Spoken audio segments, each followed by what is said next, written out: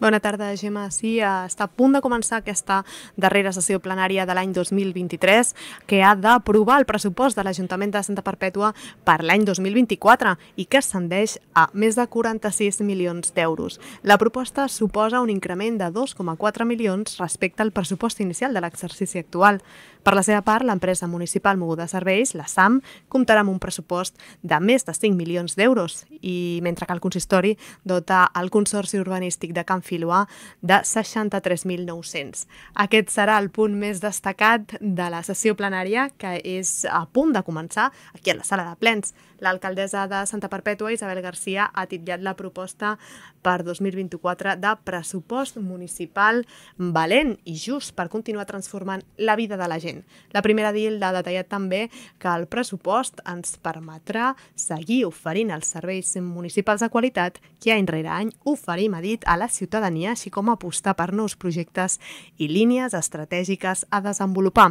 Aquest és el primer pressupost del nou govern municipal sorgit de les eleccions del 28 de de maig. L'alcaldessa ha explicat que la proposta 2024 servirà per analitzar i plantejar molt bé com es desenvoluparan els nostres projectes de ciutat emmarcat en el pla de mandat els propers quatre anys garantint sempre, ha comentat, que els recursos econòmics de l'Ajuntament responguin a unes inversions necessàries per garantir la cobertura social, les demandes de la ciutadania i la nostra visió política per continuar fent Santa Perpètua una ciutat de referència.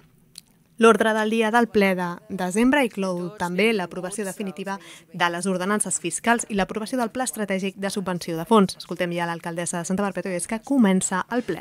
Mitjans, benvinguts al ple de la Corporació de 21 de desembre.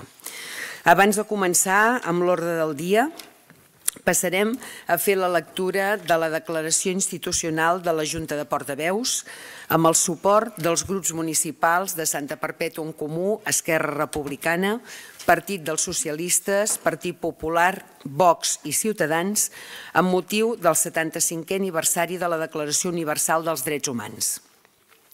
El passat diumenge, dia 10 de desembre, es va celebrar el 75è aniversari de la Declaració Universal dels Drets Humans, una fita històrica que va representar l'acord de diferents països del món per promoure la llibertat, la igualtat i la justícia per a totes les persones i arreu del món.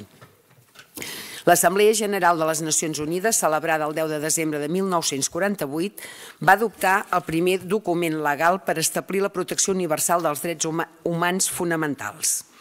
Aquest document continua sent la base de tota normativa internacional de drets humans amb més de 30 articles que detallen els principis i els instruments jurídics. La declaració va establir per primera vegada quins són els drets humans fonamentals que han de protegir-se en el món sencer. 30 articles que recullen els drets de caràcter civil, polític, social, econòmic i cultural. Malauradament, encara dia d'avui hi ha greus dèficits en el compliment dels drets humans. I per això aquesta commemoració d'aquest 75è aniversari de la declaració ha d'esdevenir un punt d'inflexió per activar la comunitat internacional i a totes i cadascuna de les administracions multinivell a vetllar de forma molt més proactiva pel seu compliment el món local català vol fer palès la importància que ha tingut la Declaració Universal dels Drets Humans en la promoció de la llibertat, la igualtat i justícia en els nostres pobles i ciutats.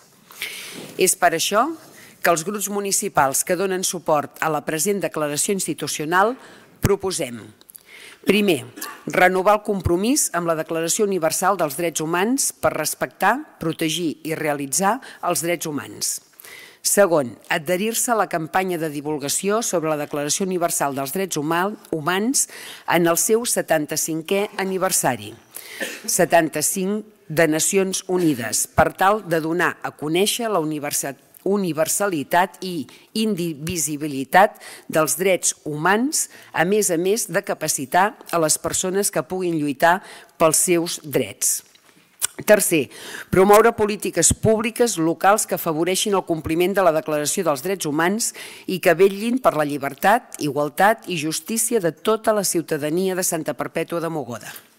Quart, reforçar les polítiques locals destinades a afavorir a les persones en situació de vulnerabilitat a través de les polítiques com l'habitatge, el dret a l'alimentació, la lluita contra la segregació escolar, el dret de les persones grans a escollir on volen viure, el dret de treball digne en condicions equitatives sense cap discriminació, l'emancipació dels joves, la protecció de la infància, la garantia de rendes, entre d'altres.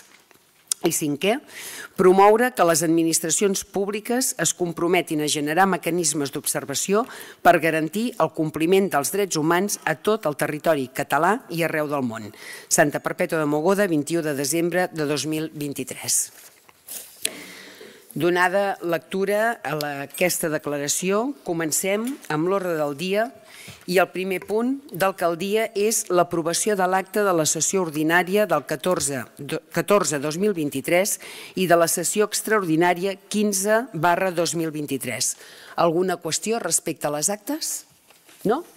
Doncs les donem per aprovades. Passem a la Comissió Informativa d'Organització i Serveis Generals amb el primer punt de l'ordre del dia que és l'aprovació del pressupost i plantilla orgànica per l'any 2024. Té la paraula el ponent.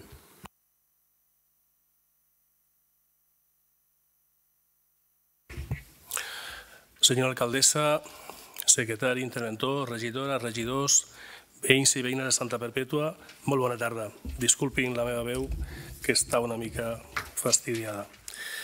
El projecte de pressupostos per l'exercici 2024 és el primer que s'aprovarà durant aquest mandat i, per tant, opera en dos vessants. D'una banda, aprofundeix en la consolidació dels serveis que aporten valor afegit al conjunt de la ciutadania i a les empreses i al teixit comercial i d'altra obre la porta a les noves propostes que formen part del pla de mandat.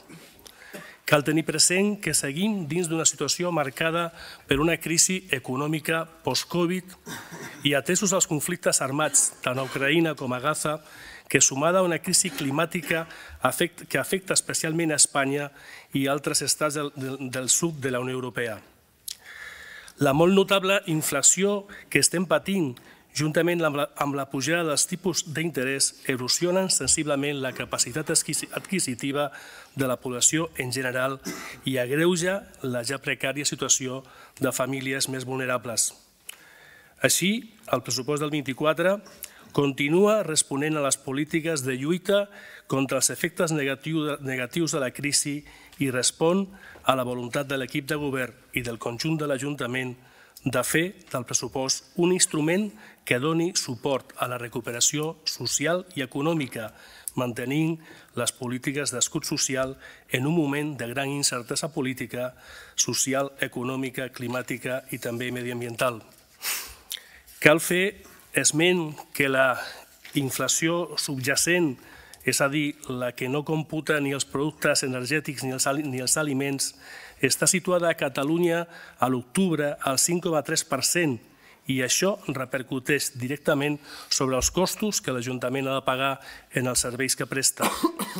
D'altra banda, no ha de quedar en l'oblit que les despeses en subministrament elèctric han suposat un increment del 167% en el període novembre 2022 a octubre 2023 sobre el que costaven en el període idèntic de l'exercici anterior.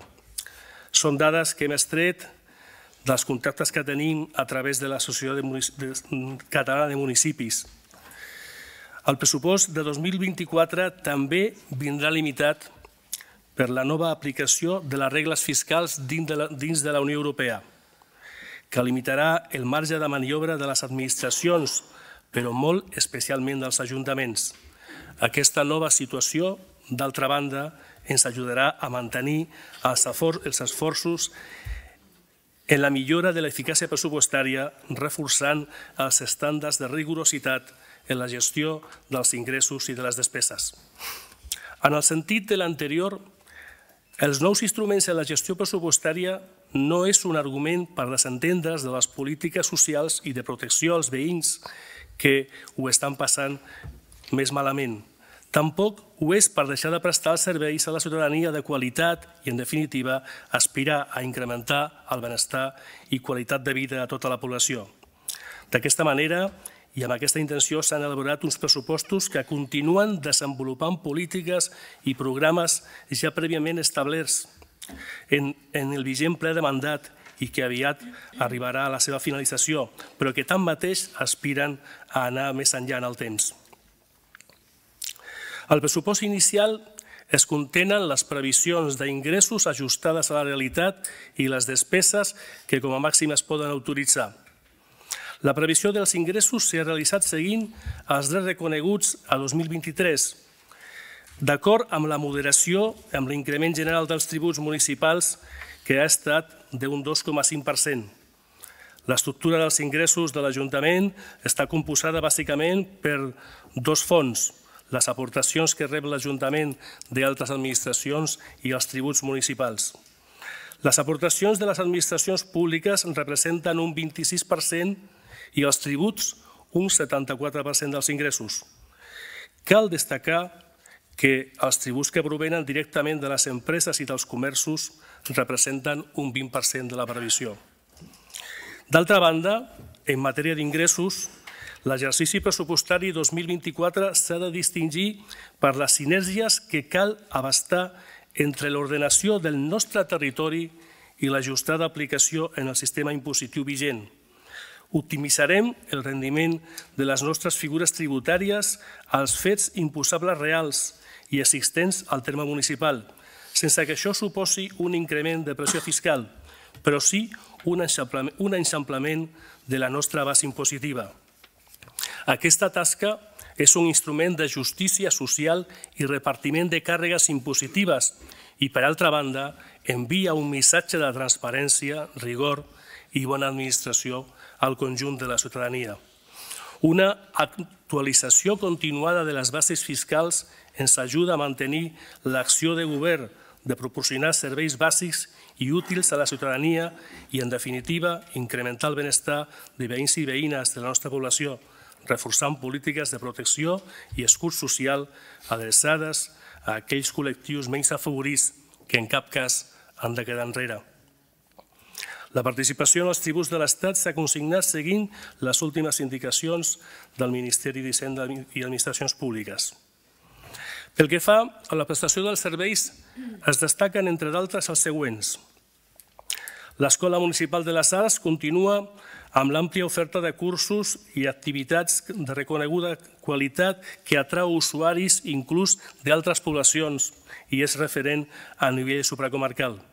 El servei de les escoles per sol és un servei propi de la Generalitat, traspassat als ajuntaments, que no sempre acostuma a anar acompanyat de l'aportació financera suficient del govern de la comunitat autònoma i la qual, la qual significa que l'Ajuntament ha d'afegir recursos extras.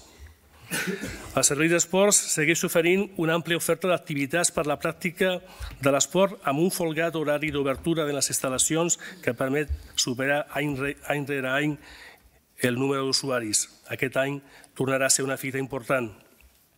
Els centres, cívics, els centres cívics disculpin, constitueixen el nus de la interrelació veïnal i participació de la ciutadania en les accions lúdiques i culturals que allà s'hi fan, cursers, xerrades, conferències, etc. El Servei de Desenvolupament Local ofereix, malgrat la situació en la que estem,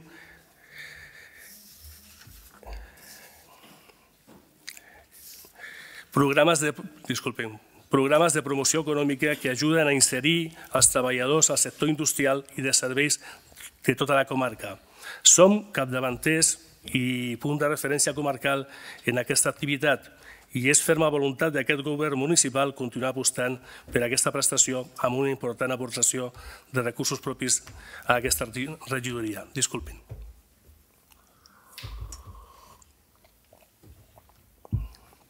El nou model de recollida de residus en la implantació de contenidors tancats serà un suport important per tal de continuar incidint sense descans en una política educativa del reciclatge. S'ha elaborat un pressupost amb visió feminista, amb una aposta decidida de gènere i transversal que té com a objectiu la transformació social i econòmica del nostre, municipi en el marc dels objectius del desenvolupament sostenible, establerts per per Nacions Unides a l'Agenda 2030 i en el marc de les accions que treballen en la recuperació social i la transformació dels models productius. L'habitatge protegit de qualitat i la transformació econòmica per tal de mantenir un respecte total al canvi climàtic segueixen sent a 2024 reforçats amb objectius en les nostres polítiques. De la mateixa manera, aquesta corporació continua fent una aposta pels serveis municipals de cura i atenció a les persones i especialment en moments que vivim. L'Ajuntament continua apostant decididament pel comerç de proximitat, de qualitat i per l'activitat econòmica, activitats que són font de riquesa, generadores de llocs de treball i de teixit social. De la mateixa manera que aquesta aposta, mitjançant les seves polítiques per les entitats del municipi, que són peces estratègiques en el moviment social, cultural i recreatiu de la vila. Les propostes de racionalització i organització de recursos municipals es realitzen amb la premissa de seguir fent de l'Ajuntament una administració propera a la ciutadania, a l'empresa i al comerç i cada vegada més transparent. Cal no oblidar que el principal motiu d'aquest govern municipal és aconseguir el benestar social i econòmic de Santa Perpètua i la seva gent, amb respecte a la llei i a la millor gestió possible dels recursos públics, un ajuntament proper a la ciutadania, a l'empresa i al comerç cada vegada més transparent. Estem davant d'un pressupost de 46,2 milions. És un pressupost que creix respecte del pressupost inicial del 2023 un 5,51%. Cal destacar la moderació de les despeses del personal, del capítol de, de, de personal, amb un increment del 3,69%. Així mateix, les despeses de, de funcionament de béns i serveis tenen un increment del 6,72% i les transferències corrents, corrents les aportacions que l'Ajuntament fa a persones i a, i a entitats creixen un 6,55%. D'altra banda, malauradament, la crisi i, les, i els dictàmens del Banc Central Europeu fan que els tipus d'interès d'interès hagin passat a principi del 2023 del 0,5% al 4,55% a finals del 2023, això també ho pateixen les famílies i inevitablement aquesta part té un creixement del 127,34%. I els passius financers, les amortitzacions de, de crèdits decauen un 12,82%. En total, un creixement de la despesa sobre l'any 2023 del 5,51% pressupost 46 milions 46,2 milions d'euros. Moltes gràcies, regidor. Passem la paraula als grups. Paraules?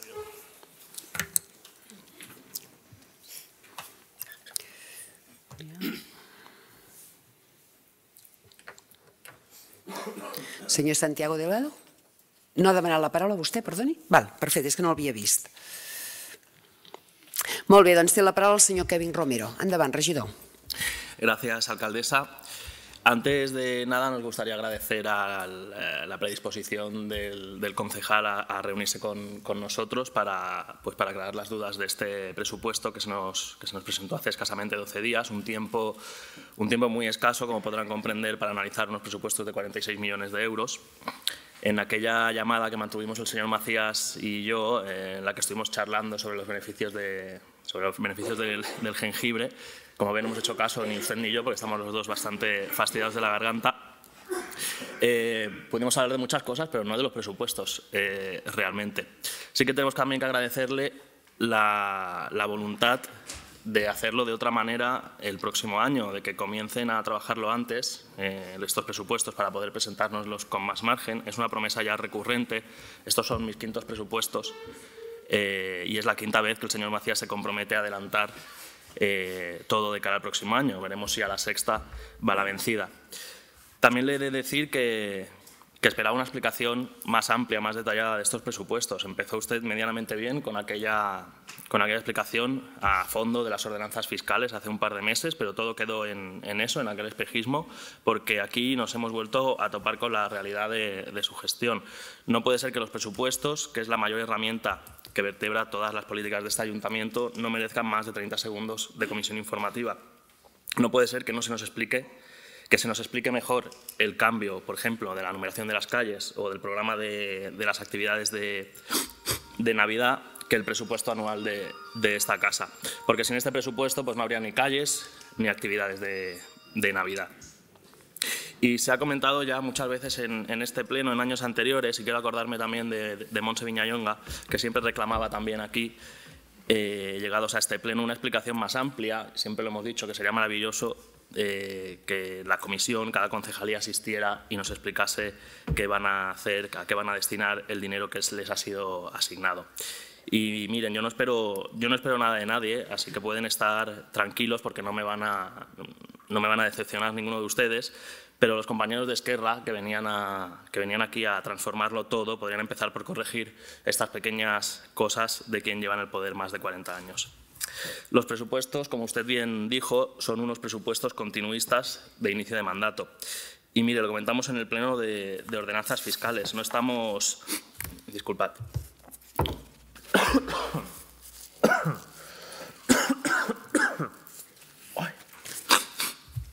Disculpad, ¿eh?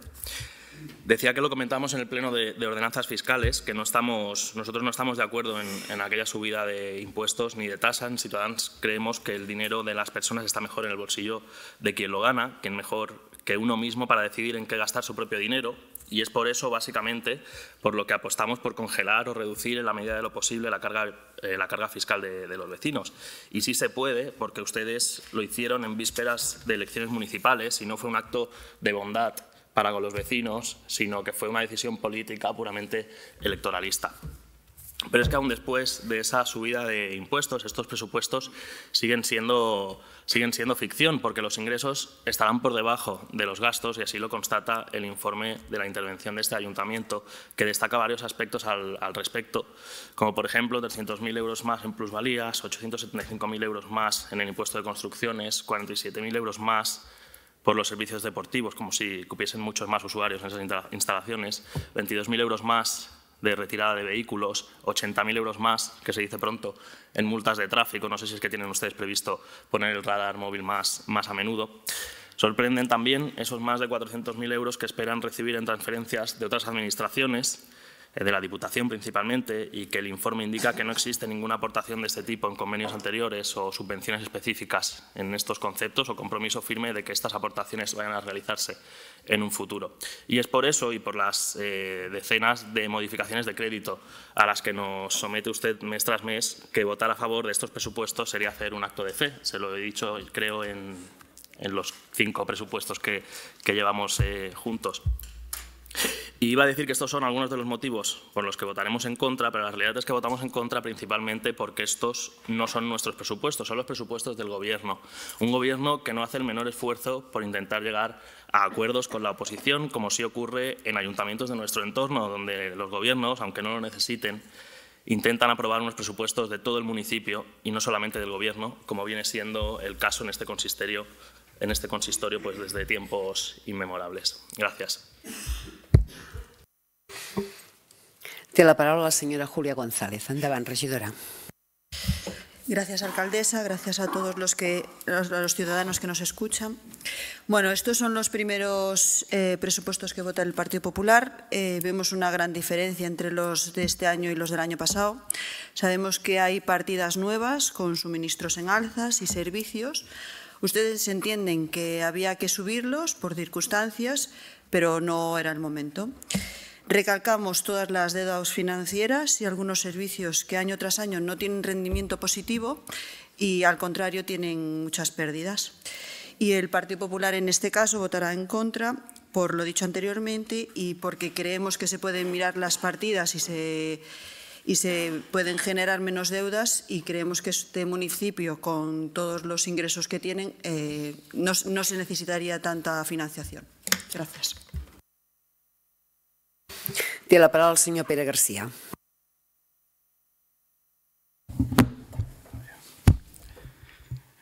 Gràcies, alcaldessa. Gràcies a tota la ciutadania que s'escolta pels diferents mitjans de comunicació i els que avui ens acompanyen al ple. Avui els Comuns i Esquerra Republicana ens presenten els primers pressupostos que marcaran el canvi d'aquesta nova legislatura. El regidor d'Economia es va resumir que aquests pressupostos no tenen res d'especial. Els socialistes no ho veiem així. És obvi que és continuista, però no pot ser continuista. Oblidem que són els primers pressupostos de la legislatura i no únicament tindran impacte a l'exercici de 2024, sinó també fins l'any 2027. Per tant, aquests calen ser estudiats amb deteniment. Agrair al regidor de l'àrea d'Economia per la feina que avui ens presenta, sabent de la dificultat de fer uns pressupostos que de per si són complexos i difícils de quadrar. Això com també agrair als regidors per, per presentar uns números avui on se'ls ha demanat que havien de contenir la despesa i aconseguir l'equilibri pressupostari, amb l'esforç que això ha suposat. Hem estat analitzant en profunditat cadascuna de les partides que avui es presenten. Hem estudiat i intentat esbrinar el perquè de diferents variacions. Ens van reunir amb el regidor d'Economia per tal de que amb les seves explicacions ens aclarís les diferents desviacions que hi ha hagut. De vegades hem tingut èxit i d'altres no tant. Aplaudim que tal com que demanaven els socialistes, veiem que s'ha augmentat partides destinades al manteniment i conservació dels parcs i jardins que tenim al municipi. No únicament ens hem de preocupar d'inaugurar nous espais, sinó que aquests s'han de mantenir i estar en òptimes condicions pel gaudiment i esbarjo d'aquells que els fan servir i que per tal que sigui de reclam per a altres potencials usuaris. Els pressupostos també reflecteixen l'increment important referent a les partides per tal d'implementar el nou servei de recollida de residus que el nostre anterior regidor de Medi Ambient havia treballat i que ara cal implementar a aquests pressupostos. Com d'aquest tema ja vam parlar en plens anteriors, no m'estendré més. També cal donar valor a aquests pressupostos garanteixen l'escut social que els ciutadans més vulnerables del nostre municipi necessiten per tal de poder tenir una vida més digna. Referent al capítol 1, capítol primer, el capítol 1, i aquí encertaré un anàlisi tècnic i que puc entendre sigui complicat de seguir. Capítol 1 és la partida que més percentatge de la despesa s'emporta, concretament un 48% del total, és la partida relacionada amb les despeses de personal. Si bé mentre els socialistes hem estat governant amb els comuns en aquest Ajuntament, aquest capítol havia destacat per la seva contenció, avui se'ns presenta un increment significatiu d'aquest capítol 1 i també d'altres partides camuflades fora d'aquest capítol però vinculades amb el mateix. Intentaré explicar-ho amb un llenguatge entenedor. Per una banda, el capítol 1 s'augmenta el seu pes respecte a la resta de capítols en un 9,7 i per l'altre, el capítol 1 ha tingut un increment d'un 3,69. Respecte al 3,69, els treballadors públics tenen un increment lineal del 2 més el 0,5 variable per aquest 2024, fruit de l'acord que van signar els grans sindicats de Madrid a l'octubre del 2022.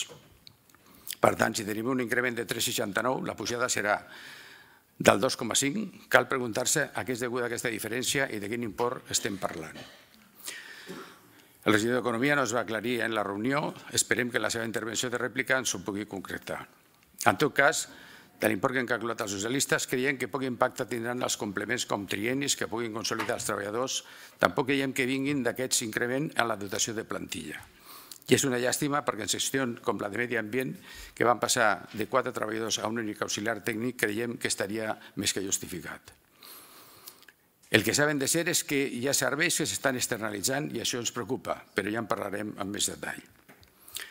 Això doncs la conclusió pel que s'incrementa principalment aquest capítol la trobem amb el ple del juliol del 2023, quan la partida destinada a pagar els sous dels regidors i regidores i alcaldessa d'aquest consistori es van incrementar de mitjana un 24%, però que sumat a l'increment posterior del 0,5 i respecte al final del 2022 la despesa es va inflar un 28%.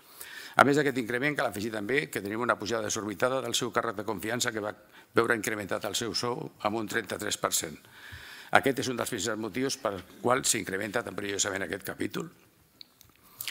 No és per increment de plantilla ni per fer polítiques en reduir la bellesa salarial, ni tan sols per dotar de complements aquells assalariats amb els sous més baixos. No és per això. Altra deriva d'aquest pressupost és l'externalització dels serveis propis de l'administració, on s'aprofiten les jubilacions de personal públic i es passa a prestar el servei en personal extern. Si bé això és un intent de no engrandir més aquest capítol 1, En global perjudica els comptes totals de l'administració, a més que suposen un pitjorament dels salaris i de les condicions laborals d'aquell personal subcontractat respecte als mateixos que presten servei directament a l'Ajuntament. Deixo enrere el capítol 1 i continuo avançant amb altres partides.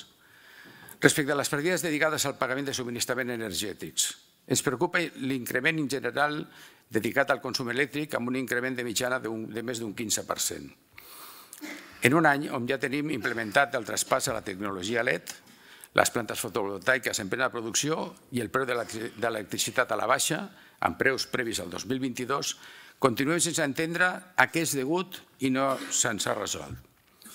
L'allumenament públic, que ara tot és eh, tecnologia LED, patirà un increment del 28%, els centres cívics del 36% i les escoles, que eren les grans beneficiades de les instal·lacions fotovoltaiques, un increment del 9%. Estan fent polítiques d'estalvi energètic, no ho veiem reflexit i tampoc no ens ho expliquen. L'única resposta rebuda, això és cosa dels tècnics. Això, doncs, que fan els polítics d'aquesta casa?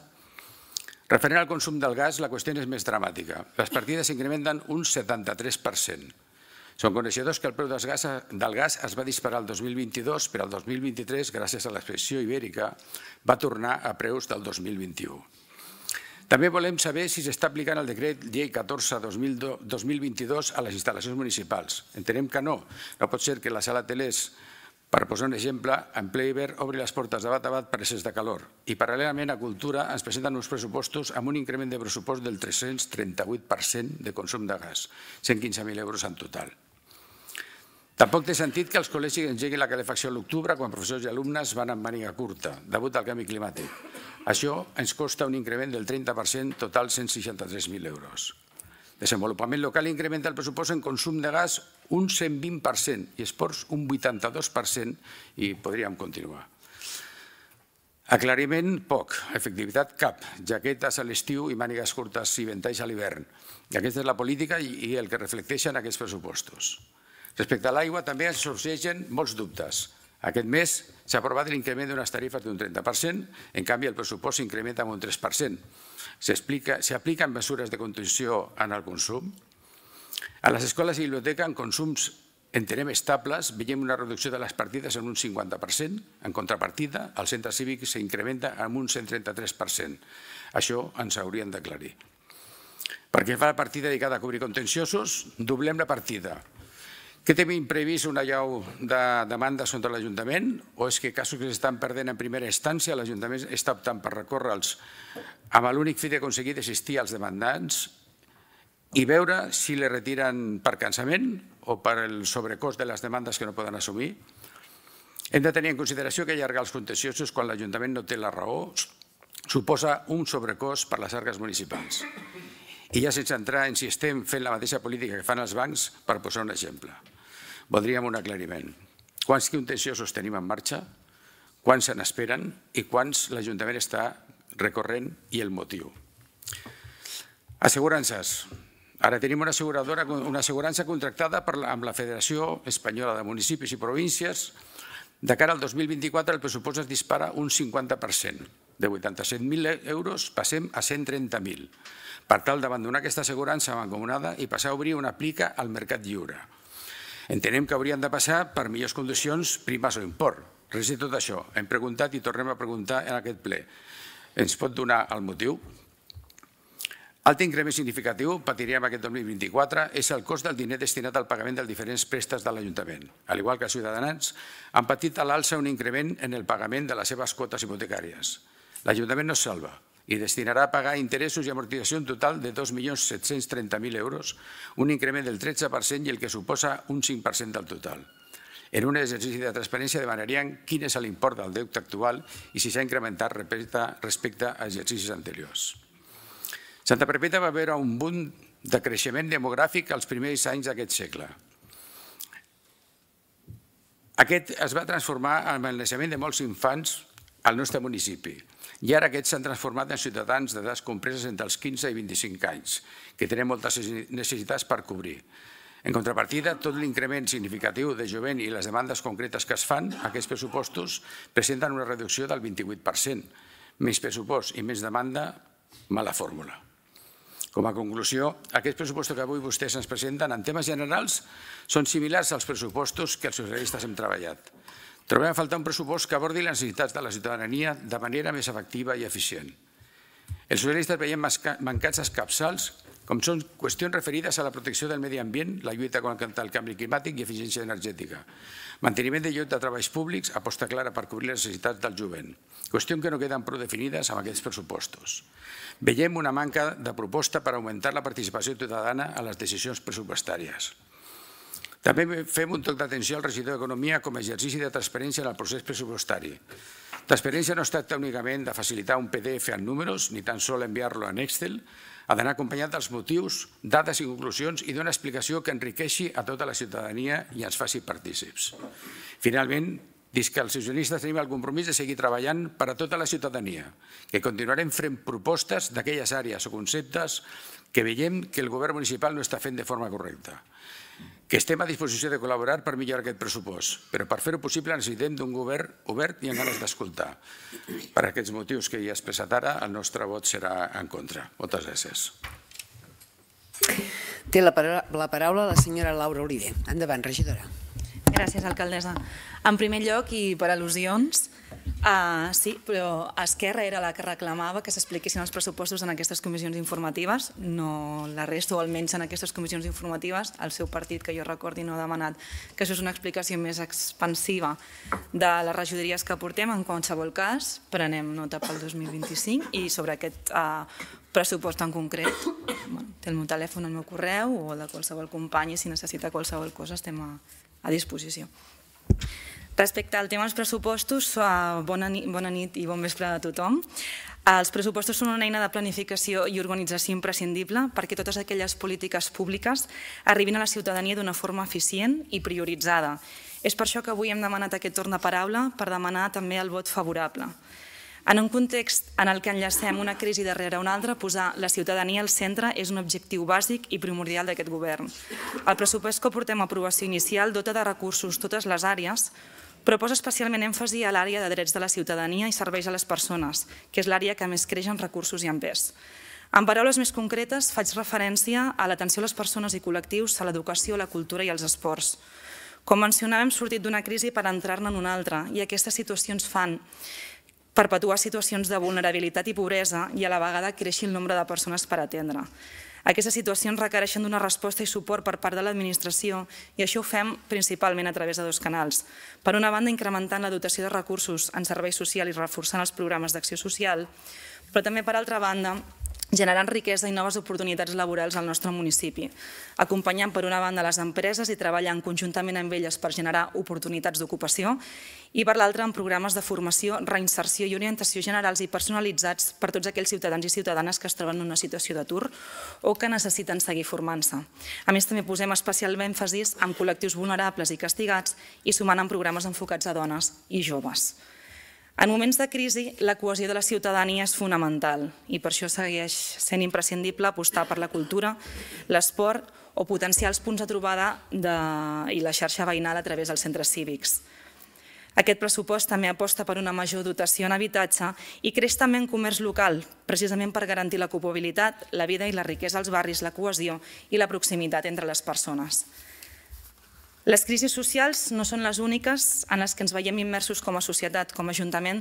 També tenim l'obligació de fer front a l'emergència climàtica i per això el pressupost també creix en aquesta línia amb una aposta clara pel canvi de model de recollida selectiva i amb una major dotació en polítiques relacionades amb transició energètica que permetin aprofitar millors recursos i que apostin per l'eficiència energètica. Si bé com a partit hem reclamat sempre una visió feminista transversal en totes les àrees, aquest pressupost ho té present no només amb més dotació pressupostària en l'àrea d'igualtat, sinó també en l'àrea de drets socials, com ja hem explicat, o amb la preservació dels principis bàsics d'igualtat i l'equitat en totes les polítiques d'aquesta casa. Una aposta clara d'aquesta legislatura és precisament aquesta, posar la mirada de gènere i garantir el canvi de relacions i reequilibri en totes les polítiques que fem. El pressupost que avui portem a aprovació és un pressupost democràtic i que aposta per la transparència. I per això vull acabar posant valor altres aspectes que fins ara no hem tocat. El pressupost dota altres àrees de nova creació, com són la regidoria de presidència, que ens ajuda a millorar l'organització i l'eficiència, o el benestar animal, que aposta per una millora en la convivència i la qualitat de vida dels animals, posant el focus en campanyes de sensibilització i en un pla d'acció en la gestió de les colònies.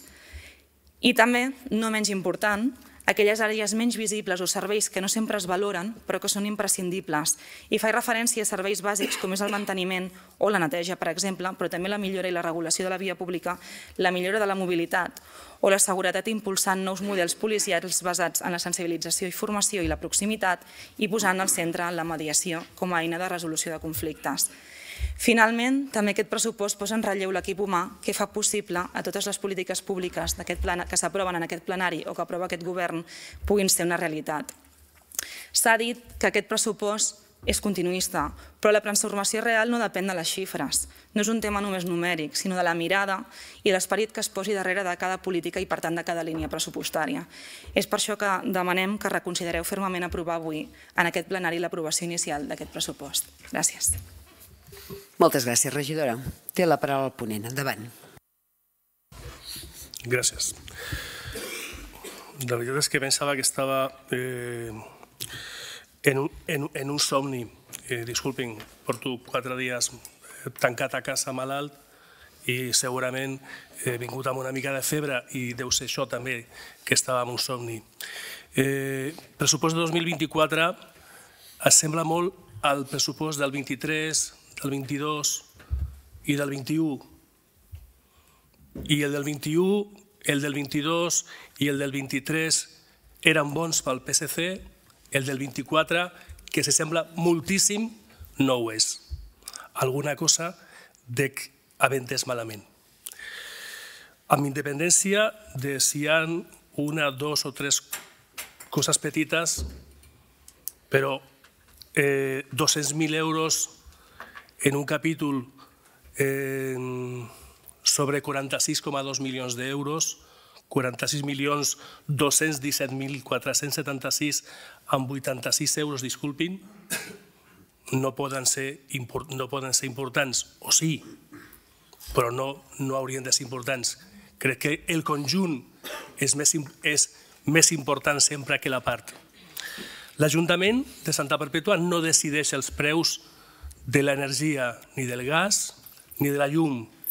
Però sí que els hi puc dir que les dades que em van passar ahir, perquè tenia molt interès, ens diuen que la despesa elèctrica entre el període del període novembre del 2022 a octubre del 23 es va incrementar un 167% sobre el període novembre 21, octubre 22 i la despesa en matèria de gas es va incrementar un 9%. I és veritat, vam tenir menys consum. Vam tenir menys consum, però l'import que pagues és, és major. Hi ha, una, hi ha una reducció del consum del 4% de, en, en l'últim exercici. Aquestes dades les tinc en un correu, els hi puc reenviar les vaig rebre ahir. No tinc cap problema en aquest exercici que vostès anomenen de transparència. Però ens sobta, no? Ens sobta... Eh, I ens sobta també que des de l'última reunió que vam tenir, entenc que també deu ser això de... Mm, ens ho diem tot al plenari, no? És, la, és, és, el, és, és, la, és, la, és la sistemàtica aquesta bona, no? Eh, en el plenari li reclamem al govern que tu no tens voluntat d'arribar a acords amb nosaltres. Però nosaltres no fem res mai per, arribar, per proposar-te res. Ni fem res mai per arribar a cap acord. Però al plenari et diem, escolta'm, tu, govern, no tens cap intenció d'arribar a un acord amb ningú. Això sí, jo durant tot l'any no faig res ni proposar acords. Amb la qual també ens sobta, eh, ens sobta aquesta banda, eh, aquest, aquest tema. És veritat que mm, no hem tingut l'oportunitat de parlar, devia ser que jo estava, eh, que estava, quan que estava al llit, pues, eh, ningú va pensar, li truquem a l'Adelino, li enviem un correu, li preguntem, escolta'm, d'aquesta documentació final que ens has passat amb un Excel, ens ho has demanat, eh, t'ho hem demanat amb un Excel, ho hem treballat, eh, l'explicació està avui aquí, no? Però és que resulta que estem davant d'uns pressupostos que, com, li, com bé li agrada dir al portaveu de Ciutadans, són continuistes. Perquè és veritat que allò que funciona, allò que funciona, si ha de, si ha de funcionar durant, durant 40 anys, pot funcionar 40 anys més. No, té, no crec que sigui aquest l'inconvenient. I, d'altra banda, jo crec que hem de ser clars. L'Ajuntament de Santa Perpètua és un, és un clar defensor de la, de la política social.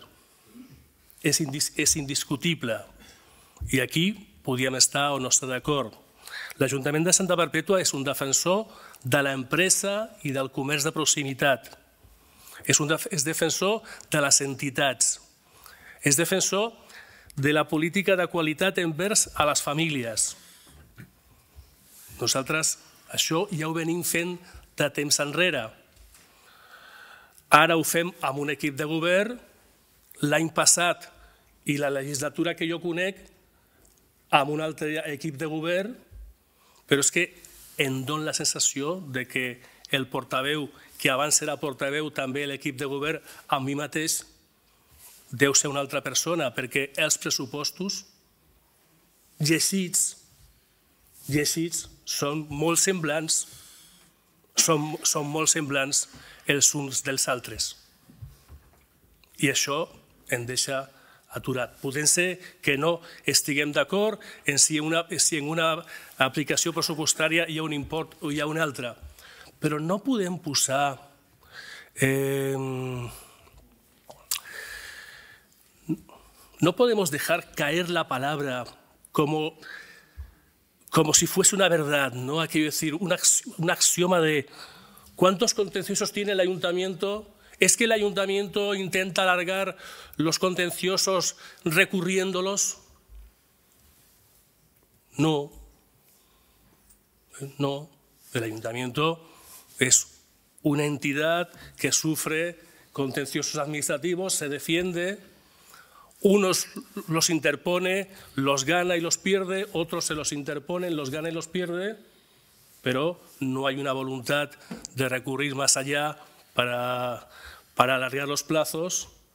Lo que es inevitablemente, lo que sí que hay que hacer es defenderse y defenderse en buenas condiciones y en buenas condiciones, con buenas defensas, hemos conseguido eh, buenos éxitos y en otros casos no hemos, conseguido éxitos.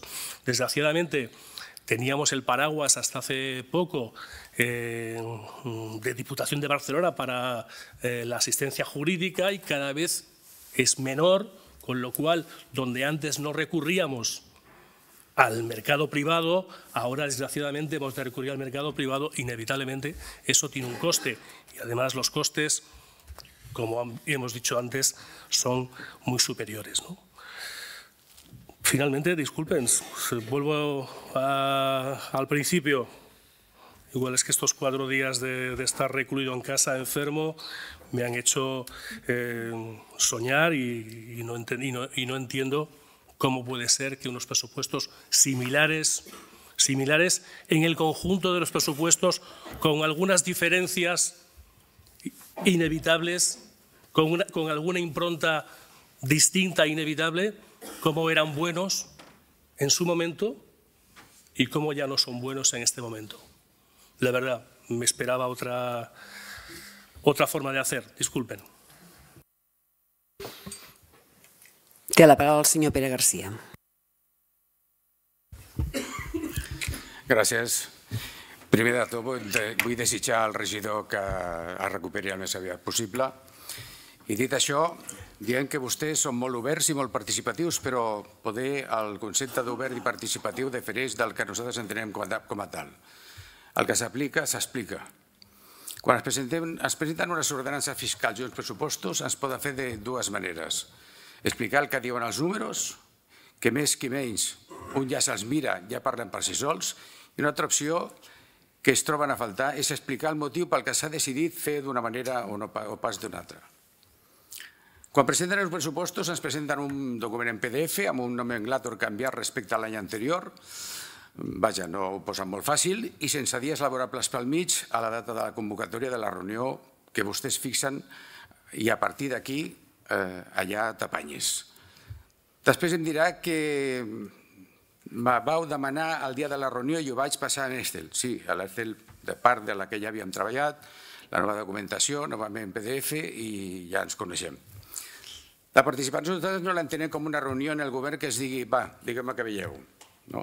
Per nosaltres, l'essència de la participació, la més bàsica, l'entenem com una explicació del per què d'aquests pressupostos i no altres. Ni tan sols imaginem poder participar de forma més activa, sabent que no saltaran nada als comuns i veient que tampoc d'Esquerra Republicana. Per molt que avui ens ho vulguin vestir d'altra forma, no ho respectem, però no ho compartim. Els socialistes tenim el compromís a la ciutadania, tot i estar a l'oposició, de fer les propostes més adients i que beneficien a tot el col·lectiu. Ho hem fet durant els darrers vuit anys directament el sí del, en el sí del govern municipal. Per tant, ara amb aquest nou paper que ens toca fer, els socialistes reiterem en ser una posició constructiva i que escolta i explica. I són per aquests motius que hem d'intentar aportar les millores a aquest pressupost que beneficien a curt termini a Santa Perpètua. I vull, per acabar, en la reunió que vam tindre eh, amb el senyor Delino, eh, vam preguntar-li tot això que hem exposat avui i l'única resposta que vam tenir és que eren números que havien passat als tècnics, amb la qual eh, si tenim una reunió perquè ens expliquin i no expliquen, doncs aquest és el motiu de que vinguem aquí al ple a exposar-lo. Gràcies.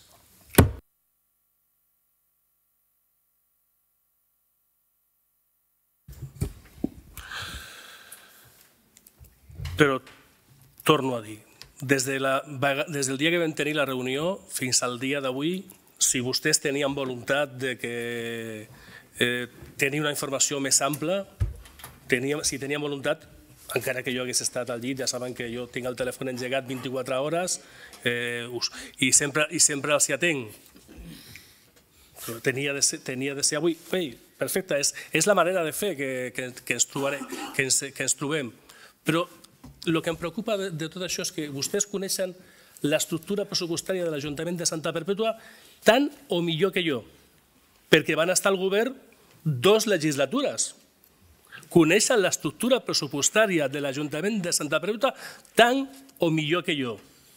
I si la coneixen i el pressupost és molt semblant al de l'exercici anterior i al d'altres exercicis anteriors en els que vostès van ser partíceps i a més els van votar a favor perquè estaven al govern, disculpin, no entenc tot aquest, tot aquest, aquest dubte i aquestes ombres que plantegen en aquest moment. O realment és que no coneixien l'estructura pressupostària de l'Ajuntament de Santa Perpètua o és que no van tenir interès en, en conèixer-la en vuit anys. I això sí que diria poca cosa de la participació al govern.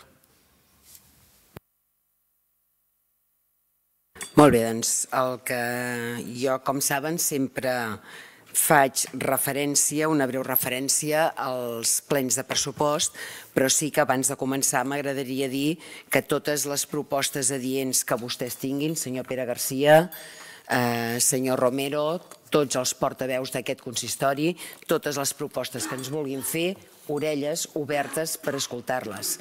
En aquest cas no n'hem rebut cap Vull dir que qualsevol proposta que vostès vulguin fer amb aquest govern per tal d'enriquir, de discutir i de plantejar, els he dit sempre, els hi vaig dir a la Junta de Portaveus, algun dubte, alguna qüestió, si d'aquí al dia del ple tenen qualsevol dubte, no dubtin en trucar i en preguntar i rebre totes aquelles explicacions que siguin oportunes. Cadascú opta, evidentment, per defensar els propostos de la manera que creu més convenient i en, molt, en diferents ocasions, de vegades, per justificar el vot. Però, en fi, eh, repeteixo, propostes adients, comentaris, tot el que vostès considerin que poden aportar amb aquest govern, tota la predisposició a que vinguin, a escoltar-les, discutir-les i a recollir tot allò que considerem i que sigui oportú. Abans de tancar aquest debat de pressupostos i després d'haver escoltat les diferents opinions dels grups polítics i les explicacions del ponent, vull fer algunes consideracions al respecte. Com a qualsevol altra administració, la discussió i aprovació del pressupost anual és, sense cap mena de dubte, una de les decisions més importants i determinants de l'acció política de l'Ajuntament. Aquest serà el primer pressupost municipal que aprovarem pel mandat 23-27. El pressupost aprofundeix de la consolidació dels serveis que aporten valor afegit al conjunt de la ciutadania, a les empreses i al teixit comercial i, d'altra banda, obre la porta a les noves propostes que formen part del pla de mandat del govern local que ja estem transformant en el que serà el primer pla d'actuació municipal. Cal tenir present que seguim dins d'una situació marcada, com ha dit el ponent, per una crisi econòmica post-Covid i les conseqüències dels conflictes armats tant a Ucraïna com a Gaza. Aquesta situació es suma a la crisi climàtica, que afecta especialment a Espanya i altres països del sud d'Europa. Ho podem veure especialment en la gravíssima sequera que està afectant Catalunya. D'altra banda, la inflació comença a donar signes de baixada, però paral·lelament hem assistit a una pujada del tipus d'interès que ha erosionat sensiblement la capacitat adquisitiva de la població en general i que ha afectat greument les finances municipals. En poc temps, com ja s'ha dit, hem passat de pagar els crèdits del 0,5% a pagar-los al 4,5%. Malgrat aquestes situacions negatives tan importants, podem afirmar que des de la institució municipal hem fet front a cadascuna d'elles i podem fer un balanç força positiu. El pressupost municipal 2024 continua responent a les polítiques de lluita contra els efectes negatius de les diferents crisis i respon a la voluntat de l'equip de govern de fer del pressupost una eina que doni suport a la recuperació social i econòmica, mantenint les polítiques d'escut social en un moment de gran incertesa política, social, econòmica, climàtica i mediambiental. Al costat del pressupost municipal ordinari estem elaborant el que serà el nou pla d'inversions, que recollirà els principals compromisos d'inversió que formen part del pla de mandat i que en els propers mesos presentarem, discutirem, aprovarem i recollirem totes aquelles aportacions que vostès vulguin fer. En tots els nivells de l'administració hem de ser capaços d'oferir certeses de futur a la ciutadania. Davant de les incerteses hem de saber oferir esperança i acció política útil pensada en, en l'interès general. Aquests són els principals objectius del pressupost municipal de l'Ajuntament pel 2024, un pressupost dotat amb més de 46 milions d'euros. També aprovem el pressupost de Mogó de Serveis SAM, que supera els 5 milions d'euros, en un any que haurem de fer front al canvi de model de gestió dels residus municipals, sens dubte un dels reptes més importants pel proper any. Fa unes setmanes aprovàvem les ordenances fiscals 2024 per assegurar el nivell d'ingressos municipals pel proper any incrementant la pressió fiscal a excepció de la taxa de residus i dels guals industrials per sota de l'IPC previst per atendre la situació de moltes famílies perpetuenques i del teixit productiu. En aquest punt, crec que és necessari ressaltar la necessitat de que el Govern de la Generalitat de Catalunya i el d'Espanya afrontin la reforma del sistema de finançament dels ajuntaments. Una reforma que ha de significar una nova distribució dels recursos públics que doti a tots els ajuntaments de més recursos per fer front a les diferents crisis, als reptes d'emergència climàtica i oferir serveis de qualitat a la ciutadania amb més solvència. És evident que aquest pressupost requerirà, com sempre hem fet, d'una bona gestió econòmica dels comptes municipals presidida per la seriositat, el rigor i la prudència a l'hora de plantejar-los. Aquest és un pressupost que dona estabilitat i suficiència econòmica en una situació molt complicada per poder seguir prestant uns serveis públics de qualitat als nostres ciutadans i ciutadanes en tots els àmbits de l'actuació municipal. En definitiva, per aquestes raons crec que és un bon pressupost municipal, que és seriós, que és responsable i que, com sempre, aquest equip de govern té a les persones al centre de les seves polítiques. Per tant, sense més, passem al pressupost a votació. Vots en contra? Abstencions?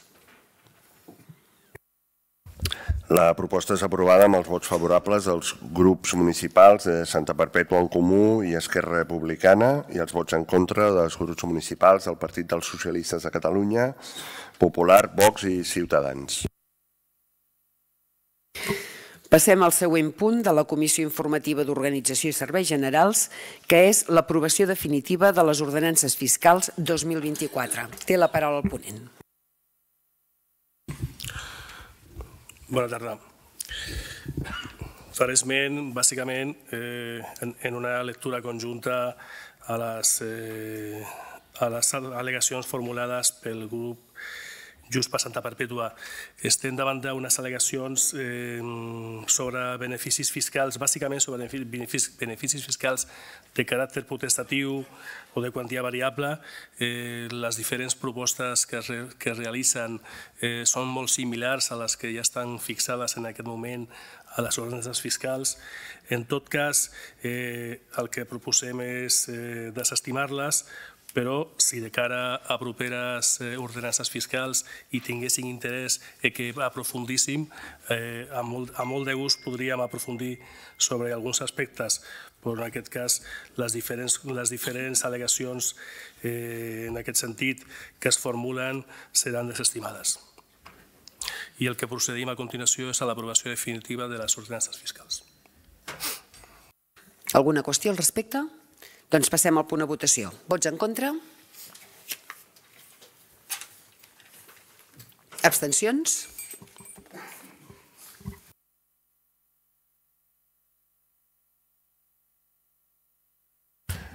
La proposta és aprovada amb els vots a favor dels grups municipals de Santa Perpètua en Comú i Esquerra Republicana, els vots en contra del grup municipal popular i de Ciutadans i les abstencions del grup municipal del Partit dels Socialistes de Catalunya i de Vox. Passem al darrer punt d'aquesta comissió, que és l'aprovació del Pla Estratègic de Subvencions. Té la paraula el ponent. Sí. Eh, el Pla Estratègic de Subvencions mm, ve vinculat normalment amb el pressupost, aquest, aquest eh, correspon a al període de subvencions 2022-2024, és, eh, és obligatori eh, aprovar-ho en, en sessió plenària i correspon a les subvencions, aportacions que l'Ajuntament eh, proposa, realitzar. Mm, respecte de les, eh, de les assignacions establertes al període anterior, estem davant d'un creixement de 33.540 euros, eh, un creixement eh, molt petit. Eh, a 2023 s'hi havien assignat 831.679 amb 89 euros i a 2024 865.220 amb 220 euros. En total hi ha un creixement de 33.540 euros. Eh, S'ha de, de dir que les aportacions, les subvencions a les entitats socials del municipi eh, continuen igual que a 2024, no sofreixen cap variació respecte de les de 2023. Paraules? Vots en contra? Abstencions?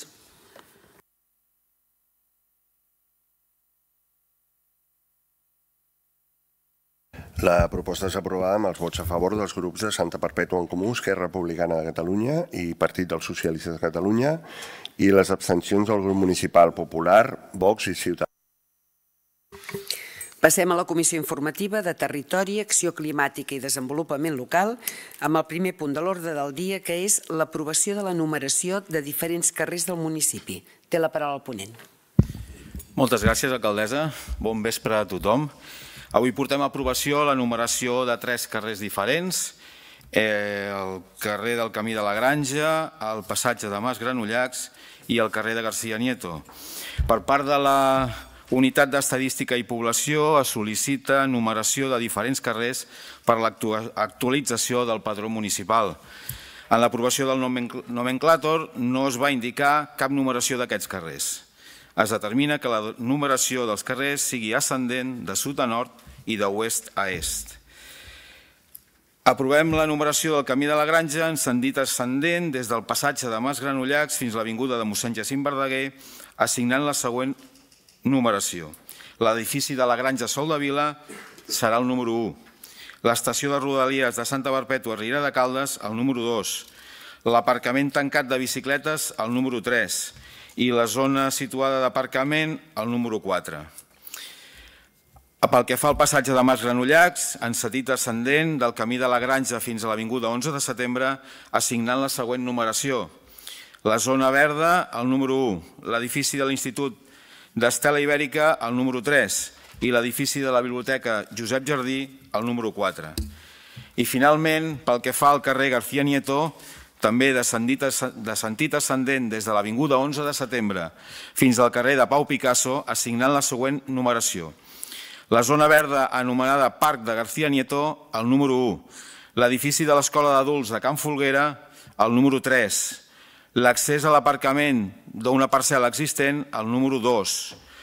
Una reserva d'un espai, el número 4 un local situat al carrer García Nieto cantonada amb Cipriano García, el número 6, una altra reserva d'espai, el número 8, i un accés a un aparcament existent d'una parcel·la, el número 10. Un local comercial amb entrada amb García Nieto amb adreça actual del Noi del Sucre, el número 12. Per tant, eh, es fa notificar aquesta resolució als titulars de les finques d'objecte de numeració, comunicar el present acord i trametre un exemplar del plànol a l'oficina de servei de correus municipal, al registre de la propietat i a tots els departaments de l'Ajuntament afectats i també remetre finalment aquesta certificació del canvi a la delegació provincial de l'INE. És per tots aquests motius que demanem la seva aprovació. Moltes gràcies. Gràcies, regidor. Alguna qüestió? Doncs passem a votació. Vots en contra? Abstencions? Queda aprovat per unanimitat. Passem al següent punt, que és l'aprovació del canvi de numeració de l'immoble ubicat a l'Avinguda mossèn Jacint Verdaguer, número 27. Endavant, regidor. Moltes gràcies de nou, alcaldessa. Portem a aprovació el canvi de numeració de l'immoble ubicat a l'Avinguda mossèn Jacint Verdaguer, número 27. Existeix una discrepància actual entre la fitxa de l'inventari municipal on consta que aquesta finca on consta aquesta finca com a mossèn Jacint Verdaguer número 27 i el plànol de numeració, de numeració vigent que figura el número 33 i al cadastre no hi figura cap numeració i encara, costa, i encara consta com només aparcament.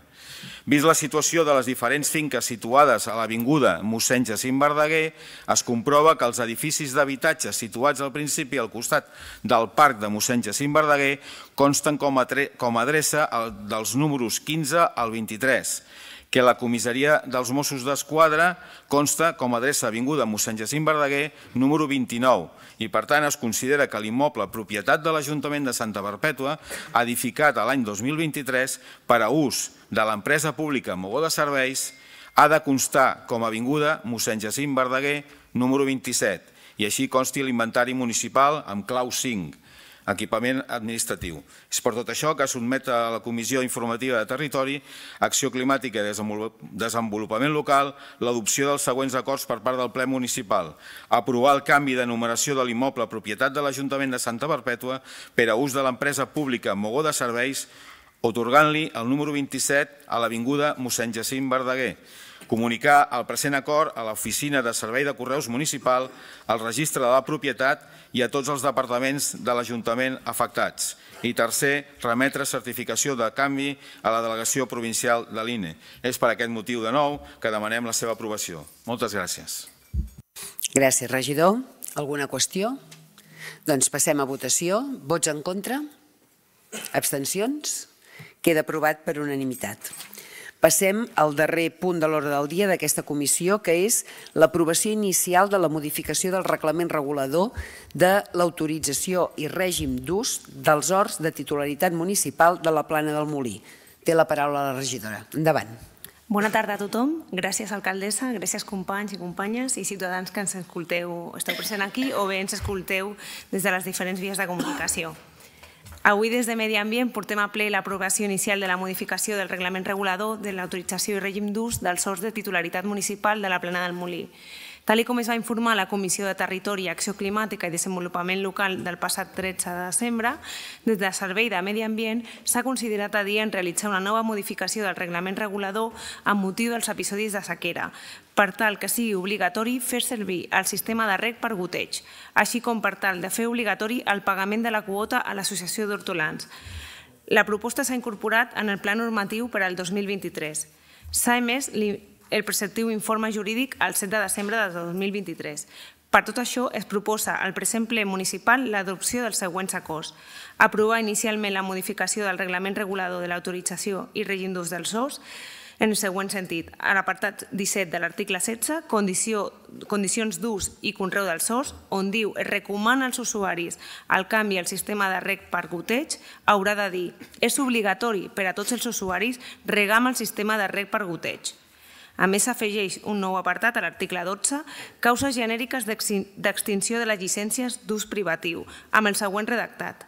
No efectua el pagament de la quota anual de l'Associació d'Hortelans comportarà la revocació i extinció de la llicència d'ús privatiu de l'hort otorgat. Per tot això demanem al ple l'aprovació. Gràcies. Moltes gràcies, regidora. Alguna qüestió? Endavant, senyor Joan Martínez. Gràcies, alcaldessa. Bé, avui la, regidora, la regidoria de Medi Ambient es proposa dos canvis en el reglament d'autorització i règim d'ús dels sòls del Pla del Molí. La veritat del goteig és gràcies a que a final de la legislatura anterior van posar els mecanismes necessaris perquè es fes realitzat, ho van fer obligatori, ja només calia donar trasllat al reglament, per tant estem totalment d'acord. El tema de l'extinció de la sessió de l'hort per impagament de quota també és totalment necessari i també estem d'acord. De fet, aquests dos canvis ja els teníem previstos en la legislatura anterior, com d'altres que trobem a faltar. No sé si han decaigut perquè no els veuen necessaris, per desconeixement de la matèria, per no haver-ho treballat en profunditat o simplement és per falta d'atreviment. Però segur que és per manca de fer partíceps a aquells que també de forma altruista podien haver sumat i aportat no noves idees, sinó idees treballades i consensuades en la pròpia associació d'hortelans i veïns de la zona. Parlem, per una banda, d'associar l'article 13.6 per tal de vincular el retorn del dipòsit a la morositat, perquè el que vostès avui únicament ens proposen és que el motiu d'extinció sigui per aquell que no estigui al corrent de pagament. Però durant quants anys o mesos serà efectiva aquesta revocació? Fins a la legislatura anterior mai no s'havia realitzat cap extinció i segons els serveis jurídics fent una revocació comportava molts, molts mesos i a més a més no era prioritari. De fet, un dels hortelans en procés d'extinció que va iniciar ja en l'anterior legislatura continua allà. Per tant, qui no pagui podrà fer un ús de franc durant quants anys i després, i és el que és més greu, se li retornarà el depòsit perquè així està establert. Els socialistes proposem vincular el no pagament de la quota també a la no devolució del dipòsit, modificant també l'article 13.6. També veiem que podria haver estat més, haver, podrien haver estat més atrevits afegint un nou punt a l'article 16. Estem en un municipi de zones de baixes emissions, estem fent constantment menció al tema de canvi climàtic, mesures per revertir la situació, propostes que poden tenir un cost o un altre, i si bé l'any passat aquí un, el regidor va iniciar la prohibició de cremes, de restolls i de focs d'esbarjos a la plana del Molí, aquesta restava implementar-la en el reglament. Evitem, doncs, que per reglament evitar les emissions de CO2 i partícules en suspensions i, a més a més, recollim el que ens deien els veïns del voltant i que així ens ho demanaven. Així, amb els, així com també evitem els efectes nocius que tant ens omplim la boca del canvi climàtic, del qual tant s'abanderen, però que quan governa semblen que se n'oblidin. Proposem, proposem també regular els tancaments perimetrals, entre d'altres motius per evitar la imatge de deixadeixa i brutícia, homogenitzar-los per aconseguir un paisatge més amable i eficient. Però el que més greu, que nosaltres trobem és que avui ens proposen afegir un nou apartat a l'article 12, en concret al punt 13, i voldria saber referent a quin reglament.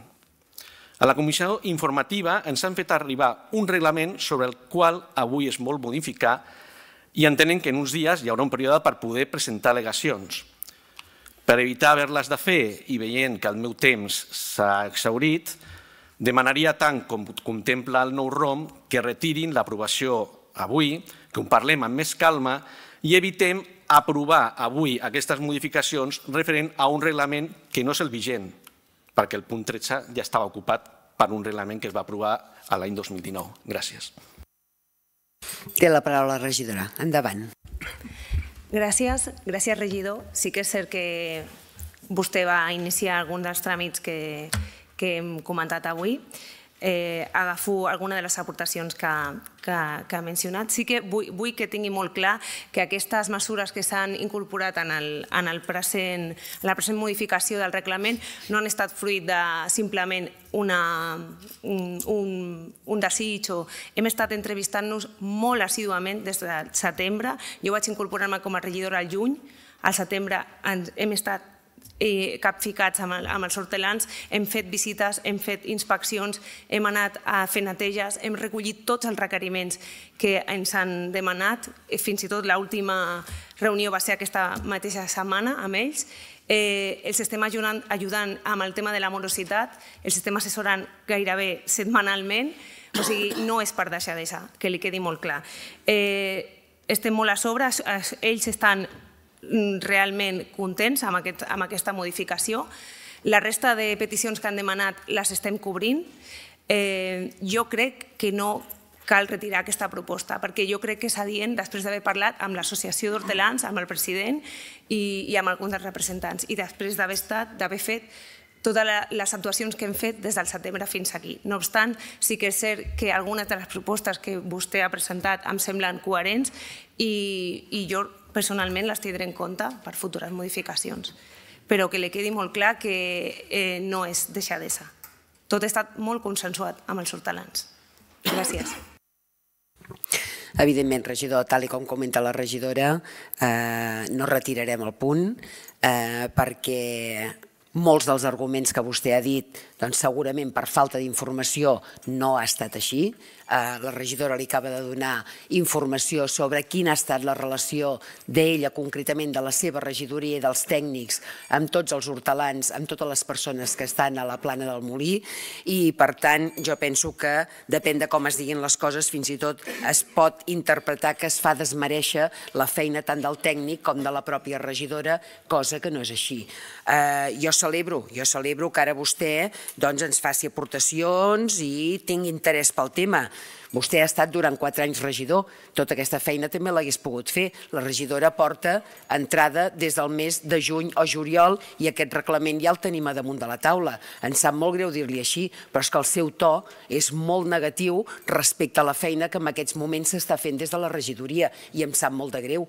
Per tant, eh, li dic aquest punt no el retirarem. Sí que m'està comentant el secretari que a proposta d'un regidor o regidora que faci una proposta de retirada s'ha de votar aquesta retirada en aquest plenari. Per tant, passem al punt a votació de si es retira o no es retira aquesta proposta d'aquest plenari.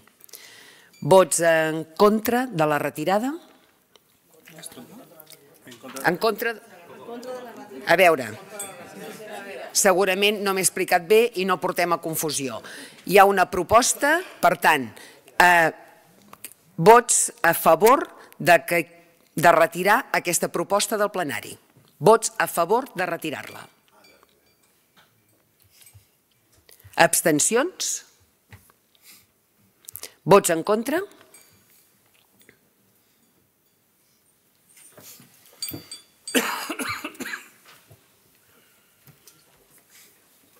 La proposta de retirada és rebutjada en haver obtingut el suport, els vots a favor del grup municipal del Partit dels Socialistes de Catalunya i el vot en contra dels grups municipals de Santa Perpètua en Comú, Esquerra Republicana, Popular, Vox i Ciutadans. Molt bé. I ara sí passem al punt a votació. Vostè vol eh, fer una contrarèplica? Doncs té la paraula, regidor. Gràcies, alcaldessa de nou. Bé, és obvi que si s'haguessin donat les circumstàncies de que es pogués aplicar el goteig quan es va iniciar des d'aquest aquesta regidoria, que va haver un retard de més de 12 mesos perquè el servei de manteniment tampoc no va veure prioritari, tot i que ja fa més d'un any hi havia un decret de sequera i es preveia, tots aquests punts, i més, com els que he aportat, s'haguessin introduït en el nou reglament. Vull dir, que no estarem fent és un reglament cada tres mesos en funció de les necessitats. Es fa un PAC. És que vostè mateix m'hagués dit, escolta, Joan, posa't les piles i no em facis un reglament avui i demà un altre. Fes-ho tot amb un únic reglament, més quan el 2019 ja van fer un d'aquests.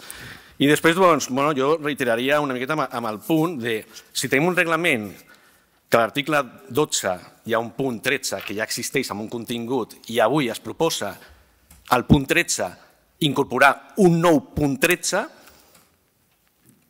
un nou punt 13, això com té cabuda? Doncs la cabuda és perquè esteu basant-vos en un reglament antic, no amb la darrera versió. I jo aquí sí que els demanaria doncs, que se sentin una miqueta, com deia vostè, han passat sis mesos, jo estic totalment d'acord amb aquesta legislatura, vostès s'han posat als sous, una barbaritat, veient-nos, venent-nos que era per ser més eficients, tenir major rentabilitat i major dedicació. I el que ens trobem és que som l'oposició els que estem fent la feina, ja que ja els vam dir en el ple anterior que llegeixin vostès, que vostès han de llegir les seves pròpies documentacions. I som els socialistes els que estem esmenant aquests errors de principiants, entenem com a tal, més amb tot el recorregut que vostès porten, i ho fem per tal d'evitar haver-ho de fer amb altres instàncies que retardaria i perjudicaria la ciutadania. Entenem que l'oposició no hem d'estar revisant els documents erronis que els regidors no es molesten ni en llegir i que amb aquest ROM, on les intervencions són tan limitades, si hem de dedicar a fer les queixes dels nyaps, doncs no deixa temps a fer intervencions polítiques. Per tant, bueno, doncs res, que els socialistes estem fent i volem continuar fent una posició constructiva i que sumi, però només de vostès depèn que sigui així. Gràcies. Sí, sí, té la paraula de rèplica la, la regidora. Endavant, regidora.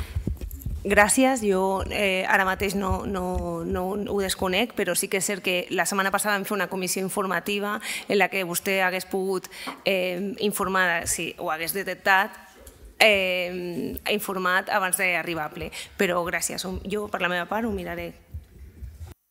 Comissió informativa i si ho ha detectat després també pot eh, trucar a la regidora, pot dir-li, eh, regidora, he detectat això, si realment l'afany és de que el reglament surti polit, surti bé i pot ser que a nivell tècnic hi hagi hagut algun error. Ni en tenim avui, en continuarem tenint i també els teníem abans, senyor Martínez. Per tant, vostè hagués pogut trucar, el tècnic s'ho hagués mirat i si hi ha alguna repetició d'un capítol, doncs s'arregla, es mira i no hi ha cap més problema. De totes maneres, ara estaran a exposició pública, per tant poden fer vostè també totes aquelles aportacions que creguin convenients i oportunes.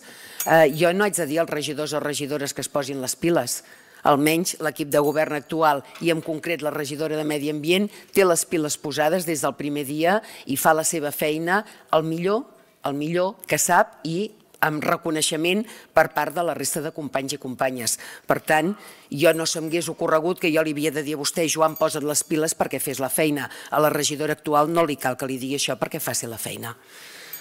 Uh, passem al punt a votació. Vots en contra? Abstencions?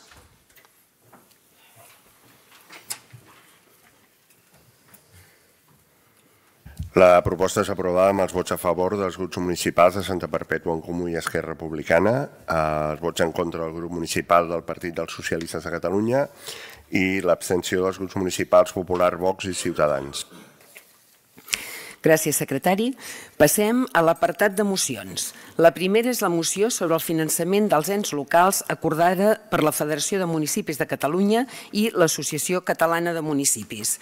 És una moció que presentem al grup de Santa Perpètua en Comú, Esquerra Republicana i Partit dels Socialistes sobre el finançament dels ens locals acordada per la Federació de Municipis i l'Associació Catalana de Municipis. El secretari farà la lectura dels acords.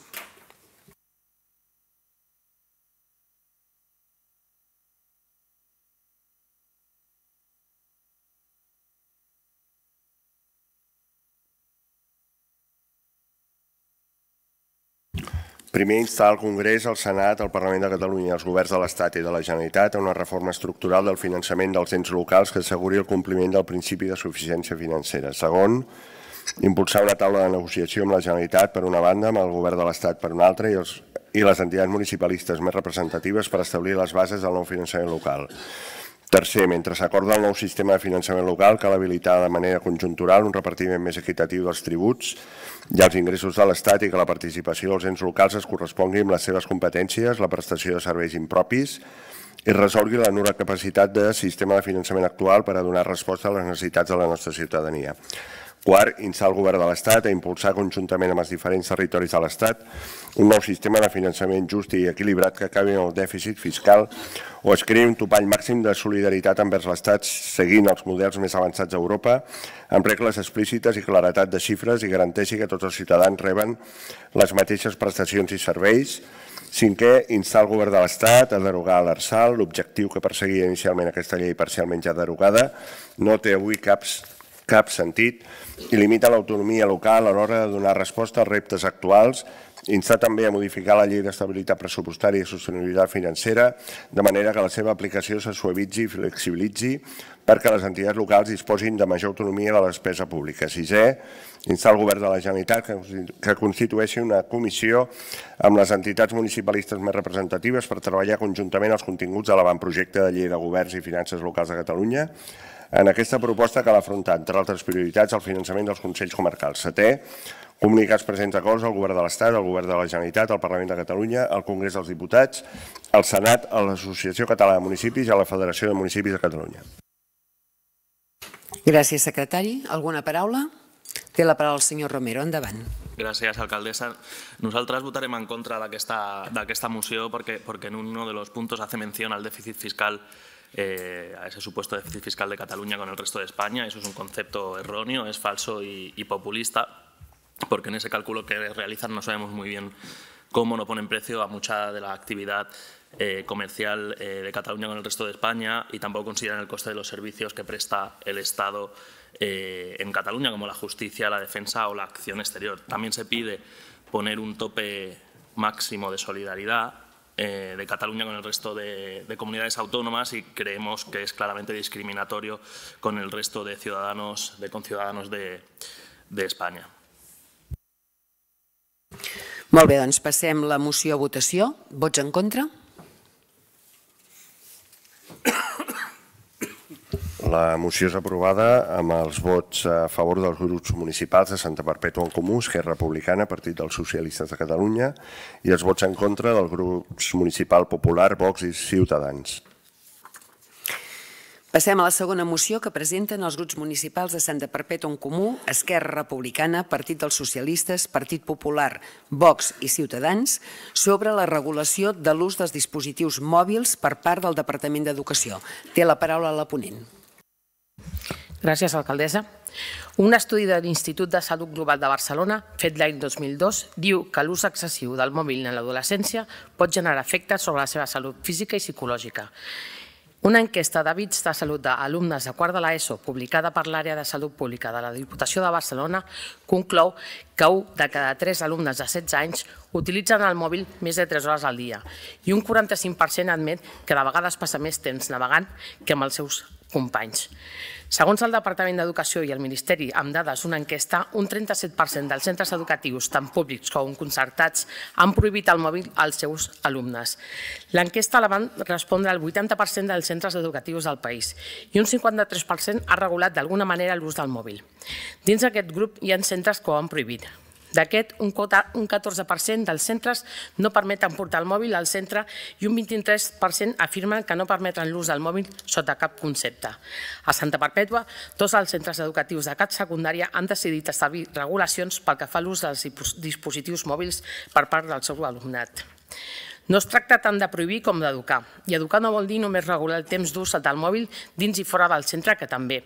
Vol dir donar eines als adolescents perquè s'enfrontin amb criteri als continguts que hi poden trobar, que tinguin unes relacions personals i socials sanes a les xarxes i per fer-ho és imprescindible la complicitat i responsabilitat de les famílies.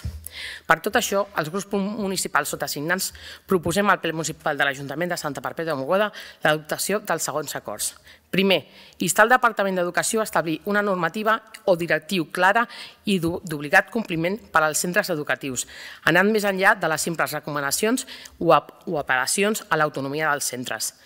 Segon, instar el Departament d'Educació i de Salut de la Generalitat de Catalunya a garantir la no utilització dels telèfons mòbils per part dels adolescents i joves als centres educatius, amb una normativa general per a tots els centres, començant per la provisió de l'ús dels mòbils a la primària i la secundària obligatòria. Fer-ho en un procés dialogat amb la comunitat educativa. Tercer, instar l'Estat i la Generalitat a regular l'ús del mòbil per part d'infants i joves en totes les esferes socials, sobrepassant l'àmbit de l'escola. Quart, instar la comunitat europea i a l'Estat a regular les empreses tecnològiques de telefonia i grans, i grans plataformes digitals, així com establir controls públics sobre algoritmes que es desenvolupen. Cinquè, comunicar els presents acords al Departament d'Educació i al Departament de Salut de la Generalitat de Catalunya, al Ministeri d'Educació i al Ministeri de la Sanitat del Govern de l'Estat, als grups polítics del Parlament Europeu, Congrés, Senat i Parlament de Catalunya, entitats municipalistes de Catalunya, la Federació Municipal de Catalunya i i l'Associació Catalana de Municipis i els centres educatius. Gràcies. Moltes gràcies, regidora. Passem a la darrera moció que presenten els grups municipals de Santa Perpètua en Comú, Esquerra Republicana i Partit dels Socialistes, instant al govern de l'Estat la suspensió de les regles fiscals. Té la paraula el ponent.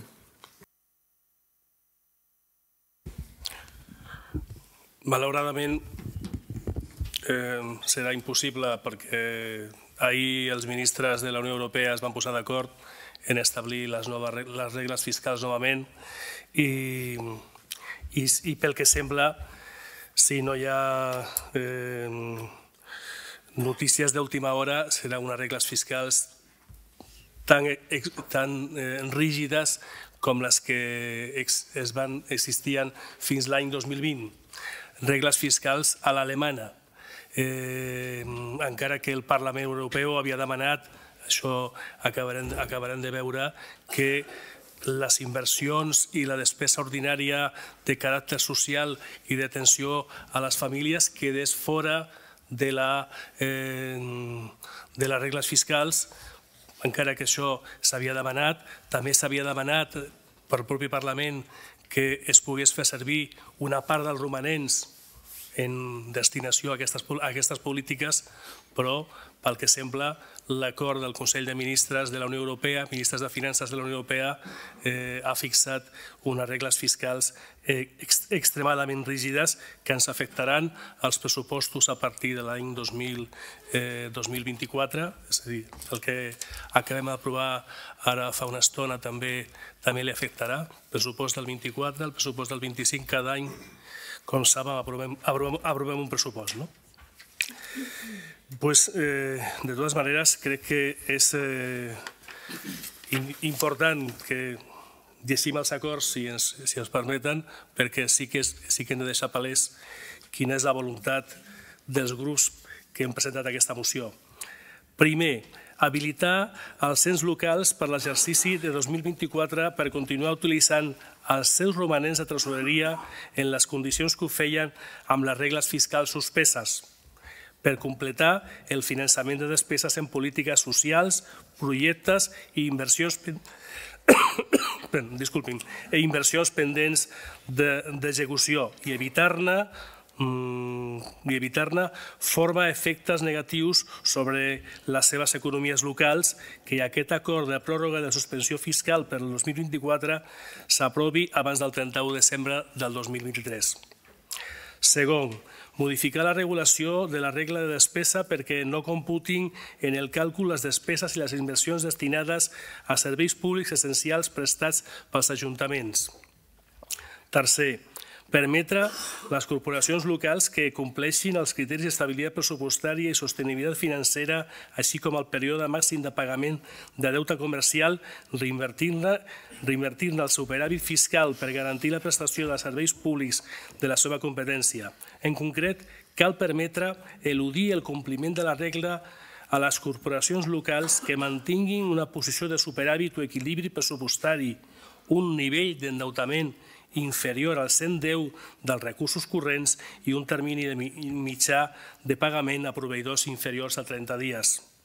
eliminar l'obligació de destinar els ingressos per sobre del que preveu el pagament del deute al pagament del deute i suprimir els articles 25 i 26 de la Llei Orgànica 2-2012 eh, de 27 d'abril d'estabilitat pressupostària i sostenibilitat financera relatius a les mesures coercitives i de, i de compliment forçosos.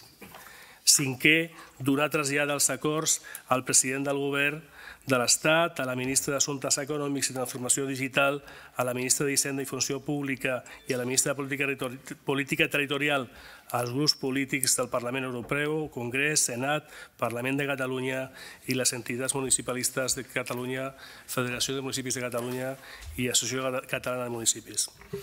Gràcies, regidor. Alguna paraula? Tiene la palabra el señor Romero.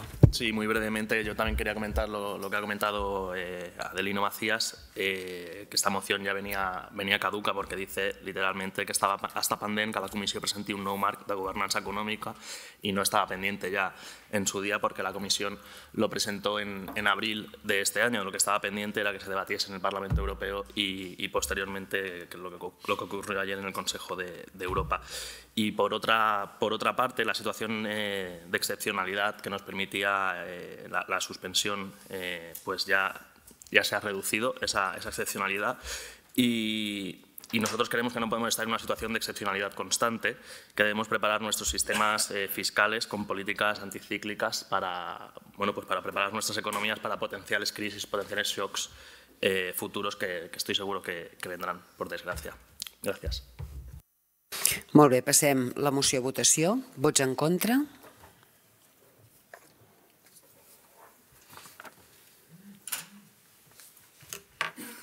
La moció és aprovada amb els vots favorables dels grups de Santa Perpètua en Comú, Esquerra Republicana, Partit dels Socialistes de Catalunya perdó, i els vots en contra dels grups municipals Popular, Vox i Ciutadans. Passem a la part de control. D'alcaldia hi ha la presa de coneixement de decrets i acords de Junta de Govern local. Alguna qüestió respecte a aquest punt? No? Doncs passem a la Comissió Informativa d'Organització i Serveis Generals, on, donaré, on es dona compte dels informes de fiscalització d'intervenció i dels decrets d'alcaldia. Endavant, regidor.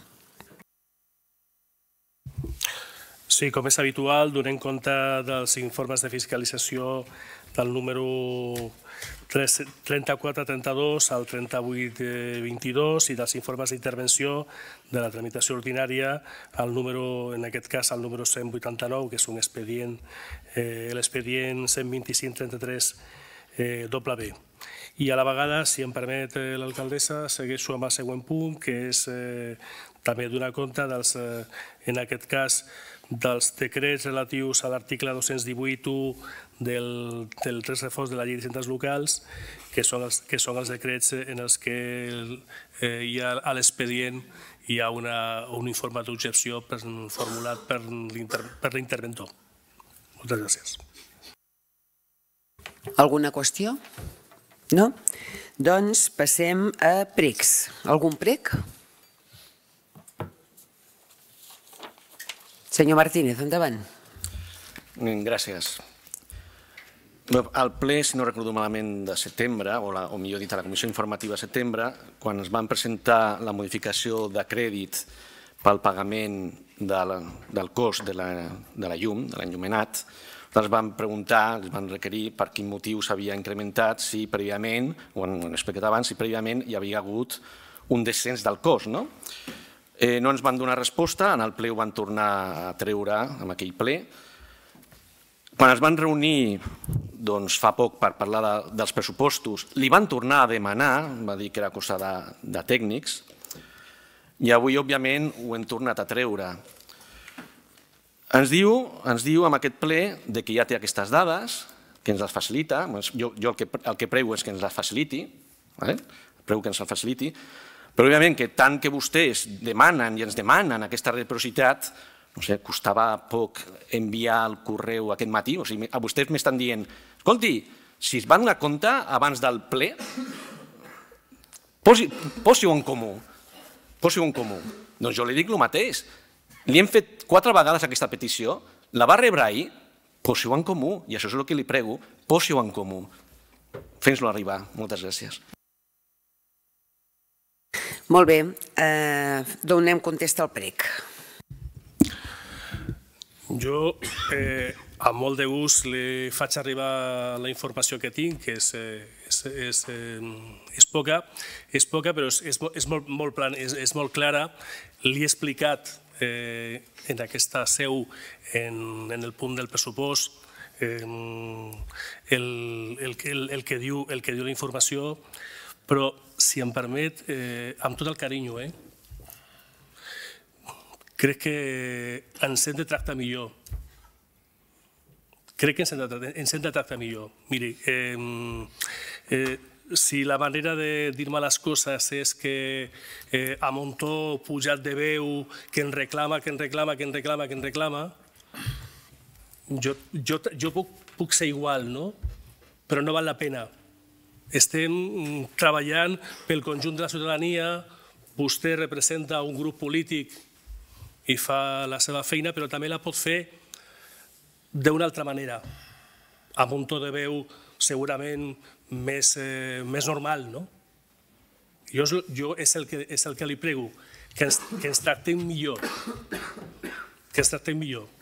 Eh, no seré jo mai el que digui eh, que si vostè fa o deixa de fer, o no fa, o, o no ha fet en el passat, jo això no ho diré, no ho diré perquè no seria eh, coherent amb el, amb el que hem viscut junts. No? Però crec que és molt bo que quedi clar que estem fent una tasca política i que ens devem al conjunt de la ciutadania i que ens hem de tractar millor i que no ens podem, no, no ens podem parlar pujant-nos la veu, ni ens podem parlar, si em permet, és el meu consell, però ni ens podem parlar donant-nos lliçons. No és, bo que ens, no és bo que ens donen lliçons, perquè ni jo sé més que vostè, ni vostè sap, sap, sap més que jo. Sabrà més que jo d'algunes coses i jo sabré més d'altres coses. En tot cas, demà demà al dematí li faig arribar el correu. Moltes gràcies. Molt bé, doncs passem a l'apartat de eh, preguntes. Alguna pregunta?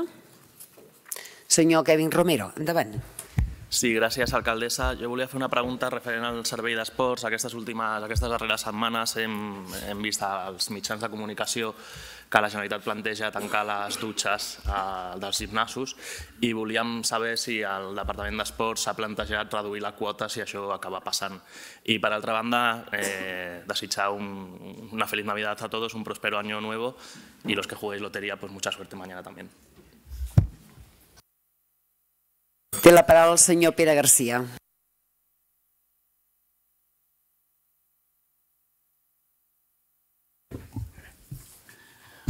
Moltes gràcies. Amb el ple del 27 de novembre d'enguany van aprovar una moció a favor de la calendarització de la construcció d'una residència per la gent gran a Santa Perpètua, motivat per l'anunci de tancament de la residència de gent gran a Reus. Es va cridar l'atenció a l'extensió dels republicans i concretament als motius i les afirmacions que va realitzar la portaveu d'Esquerra Republicana. Ens va afirmar que per una banda la Generalitat està en diàleg amb les famílies i sindicats i per una altra que hi ha un informe tècnic per la salut i la integritat de les persones usuàries. Lamentem que no s'hi suméssim basant-se en aquestes afirmacions que entenem que li van arribar des del seu partit, però que dos dies més tard s'ha demostrat que no eren certes. Doncs la Comissió Parlamentària de Drets Socials, el dia 29 de novembre, el secretari general de Drets Socials va afirmar que encara no s'havia parlat amb els sindicats i respecte a les famílies, literalment va dir quan comencem a parlar amb les famílies, que encara no hem començat, i per últim, referint-se a l'informe que Esquerra va fer menció, en aquesta comissió parlamentària tampoc es va aportar cap tipus d'informe. Lamentem, doncs, que el seu grup republicà no es facilités la informació fidedigna, o segur vostès haguessin canviat el sentit del seu vot, i de fet aquesta seria la pregunta. Haguessin canviat el seu vot sabent que han estat, diguem, mal informats, ja que no s'havia parlat ni amb sindicat ni amb famílies i que l'informe tècnic no, és, no apareix per lloc. I aprofitant que estic davant de, de tota la gent de, la, de tota la ciutadania de Santa Perpètua, vull desitjar-los un bon Nadal i un feliç any 2024. Gràcies. Passem la paraula al regidor d'Esports i després també acabarà de complementar el senyor Sergi Hernández. Endavant, senyor regidor. Sí, bona tarda a tothom, a tots els que escolten des de casa i d'aquí del ple. regidors, regidores i, de, i diferent públic. En referència a lo de les dutxes, eh, encara hi ha una miqueta d'entrenou de, perquè no en tenen molt clar què s'acabarà fent. Però sí que és veritat que se'ls deia que si no es dutxen als gimnasos, es dutxaran a casa, amb la qual el tema de l'estalvi possiblement no ho tinguem. Eh, quan passi això i s'acordi realment de que no es poden dutxar, doncs ens ho pensarem i mirarem a veure si la quota baixarà o no baixarà o acabarem fent una cosa o una altra. Però en principi continuem com estem, vull dir, no, no és un problema de, de si baixarem la quota o no la baixarem fins que no realment no es tingui que fer una cosa o una altra i en principi ja dic, eh, inclús la Generalitat estan valorant que si no et dutxes al gimnàs, et dutxes a casa, vull dir que l'estalvi potser que no serà. No serà. Gràcies. Sí, senyor Romero, tal com diu el meu company, eh, hem passat recentment de l'estat d'excepcionalitat a l'estat de preemergència. Aquest estat de preemergència implicava una reducció de 200 litres per habitant i dia. Eh, és un estat d'estalvi que no estava reconegut en principi al, al, al pla d'emergència per sequera de la Generalitat de Catalunya i tem com a objectiu eh, cercar un punt intermig abans de decretar la, una situació més, més de caràcter restrictiu com és, el, com és la situació d'urgència, que recordem que són 200, metres, ai, 200 litres per i dia. Uh, donada aquesta fase intermitja que s'està bueno, que duent a terme ara mateix, comporta, com diu el regidor, una sèrie de, de medicions i d'actuacions que sobretot tenen un component eh, de preparació mediàtica i estratègica per tal de desenvolupar les properes, les properes actuacions i restriccions.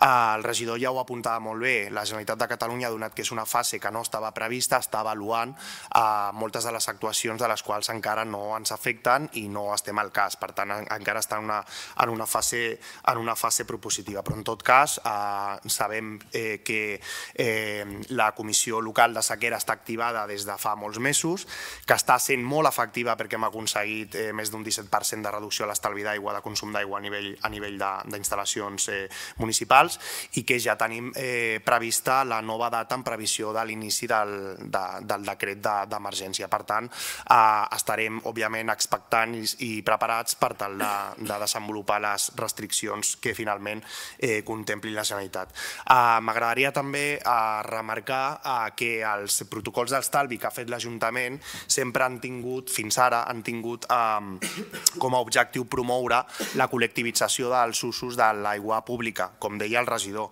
Eh, no em sembla una mesura encertada restringir els usos eh, públics i, i, i col·lectius, que són per eh, definició molt més eficients i controlables que els usos privats, no? com poden ser els, eh, les dutxes i banys públics, però poden també ser un exemple les piscines eh, eh, municipals. Molt bé, gràcies, regidors. I li passo la paraula a la senyora Laura Oliver. Endavant, regidora. Gràcies, alcaldessa. Bé, l'abstenció que nosaltres vam fer el mes passat feia més referència no tant al contingut de la moció, sinó al fet que consideràvem que no era l'espai el fet del tancament d'una residència a Reus, debatre-ho aquí. Sí, el contingut de la resta de la moció referent a, a lo que és la residència pública per la gent gran. I en qualsevol cas, respecte a totes les afirmacions que ha fet vostè avui, això és el ple de l'Ajuntament de Santa Perpètua i no el Parlament de Catalunya, amb la qual jo no li puc donar resposta eh, com ho faria qualsevol diputat dels nostres partits. Em sap greu. I desitjar també molt bones festes a tothom. Gràcies. Molt bé, doncs, eh, s'aixeca el ple, però abans eh, sí que m'agradaria dir, desitjar, com han fet els meus companys i companyes que m'han precedit, que eh, esperem i desitgem que puguin tenir unes molt bones festes, una bon, molt bona entrada d'any a tota la ciutadania que més rere més ens va seguint aquests plenaris i, evidentment, a tots els regidors i regidores que formen part doncs, d'aquest plenari. Molt bones festes, molt bona entrada d'any i ens retrobem una vegada al mes de gener. Gràcies i bona nit. Amb aquesta felicitació de l'alcaldessa de Santa Barbeta per un bon Nadal i unes bones festes, ha finalitzat aquest darrer ple de l'any, un ple que s'ha iniciat amb una declaració institucional aprovada per la Junta de Portaveus sobre el 75è aniversari de la Declaració dels Drets Humans. El principal punt de l'ordre del dia, l'aprovació dels pressupostos, ha estat aprovada amb els vots de Santa Barbeta en Comú, Esquerra Republicana i els vots contraris del PSC, PP, Vox i Ciutadans. El pressupost de l'Ajuntament de Santa Perpètua per l'any 2024 ascendirà als 40 46,2 milions d'euros, un increment de 2,4 milions respecte al pressupost inicial de l'exercici actual. En la seva intervenció, el regidor de Serveis Econòmics Adelino Macías ha expressat que la proposta consolida els serveis que donen beneficis a la ciutadania i empreses i obre la porta als projectes inclosos al pla de mandat. Macías ha posat de manifest també el moment de crisi post-Covid, de conflictes i també de crisi climàtica que ens afecten, al igual que la inflació i la pujada de tipus d'interès, que minven la capacitat econòmica de l'Ajuntament, ha dit. El regidor ha indicat que el pressupost 2024 continua responent a les polítiques de lluita i efectes negatius de la crisi i de voluntat de fer un instrument que doni suport a la recuperació social i econòmica mantenint les polítiques d'escut social. Macías també ha destacat que el pressupost compta amb una visió feminista i és una aposta decidida de gènere i transversal que vol transformar el municipi amb els objectius del seu ODS. Per a Macías, la proposta aposta pels serveis de cura i atenció a les persones i continua apostant pel comerç de proximitat i per l'activitat econòmica com a fons de riquesa. En les seves intervencions, Kevin Romero, portaveu de Ciutadans, ha demanat poder disposar dels pressupostos amb més antelació per poder treballar-ho amb més previsió i ha criticat que, malgrat la petició recurrent, no s'ha complert. Romero també ha lamentat que la comissió informativa no s'hagi explicat els pressupostos i que no rebaixin la càrrega fiscal al veïnat. Kevin Romero ha expressat també que els pressupostos, a part de continuistes, són un acte de fe perquè no són realistes. Per la seva part, Julia González, del Partit Popular, ha lamentat que serveis que no tenen rendiment, ha dit, continuen oferint-se a cost dels ciutadans. En la seva intervenció, el portaveu del PSC, Pere Garcia, ha considerat que el pressupost és continuista i ha destacat que el capítol 1 de despeses de personal ha incrementat considerablement suposant el 46% del pressupost i ha mostrat la seva preocupació per l'externalització de serveis. També ha criticat la mala gestió en el consum d'energies i la poca planificació, ha dit en aquest sentit. En la seva rèplica, Delino Matías ha expressat no entendre com un pressupost gairebé igual al de l'any passat, quan governaven amb el Partit dels Socialistes, era bo i ara no ho és. Per la seva part, Laura Oliver, d'Esquerra Republicana, ha indicat que els pressupostos són una eina de planificació per a que les polítiques es duguin a terme i ajudin a la ciutadania de manera prioritzada. Oliver també ha indicat que en un context de crisi la proposta posa a la ciutadania al centre. Finalment, l'alcaldessa de Santa Perpètua, Isabel García, ha tillat la proposta dels pressupostos eh, de valenta i justa per continuar transformant la vida de la gent. I això ha estat, a grans trets, tot el que ha donat de si aquest ple amb el principal punt de l'ordre del dia que ha sigut de pressupostos. Nosaltres tornem la connexió als estudis de Ràdio Santa Perpètua. Bona nit.